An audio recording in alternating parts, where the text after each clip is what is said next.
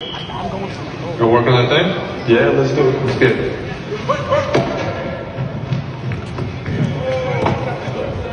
Now.